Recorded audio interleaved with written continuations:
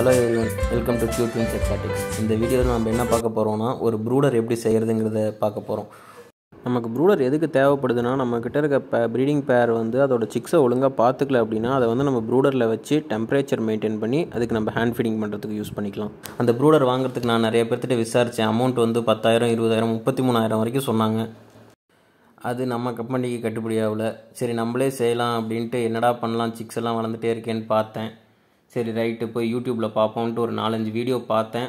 அதுலேருந்து எப்படி செய்யலாம் அப்படின்னு தெரிஞ்சிருச்சு. பட்டு என்னன்னா அதுக்கு உண்டான திங்ஸ் எல்லாம் எங்கே வாங்குறதுன்னு தெரில சரி ரைட்டு அமேசானில் போய் இருக்குதான்ட்டு செக் பண்ணி பார்த்தேன். இருந்துச்சு. எல்லாமே இருந்துச்சு. நமக்கு தேவையானது எல்லாமே.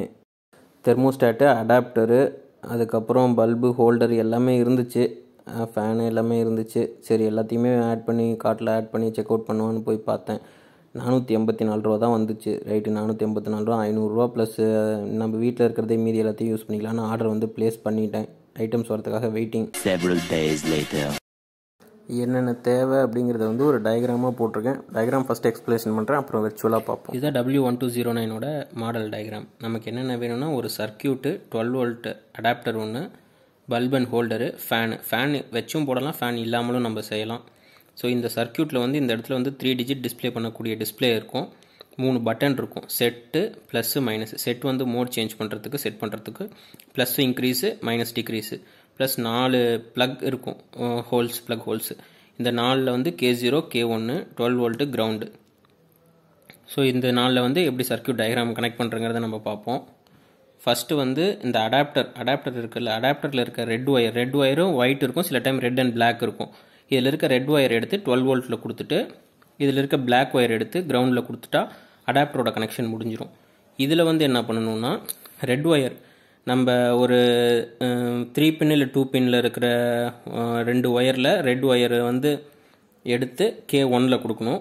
கே ஜீரோவில் வந்து ஒரு நார்மலாக ஒரு ஒயர் கொடுத்து அதை வந்து பல்ப் ஹோல்டரோட ஒரு ரெண்டுலையும் இன்னொரு ரெண்டில் இருக்கிறத எடுத்து நம்மளோட அந்த two pin three or three pin அந்த ஹோல்டரோட இதுலேயும் கனெக்ட் பண்ணிட்டோம்னா இந்த டயக்ராம் ஃபுல்லாக கம்ப்ளீட் ஆகிடும் ஸோ நமக்கு வந்து இங்கே நம்ம செட் பண்ணுவோம். இப்போ தேர்ட்டி செவன் செட் பண்ணுறோம் தேர்ட்டி செவன் வேணும் அப்படின்னா தேர்ட்டி செவன் செட் பண்ணோன்னா தேர்ட்டி செவன் ரீ ரீச் ஆகிற வரைக்கும் வந்து இந்த பல்ப் எரிஞ்சிட்டே இருக்கும். இந்த இடத்துல வந்து ஒரு ஒயர் நான் உங்களுக்கு வீடியோவில் விஷுவலாக காட்டும்போது காட்டுறேன். ஒரு ஒயர் வரும். அதுதான் வந்து டெம்பரேச்சர் மெஷர் பண்ணக்கூடியது.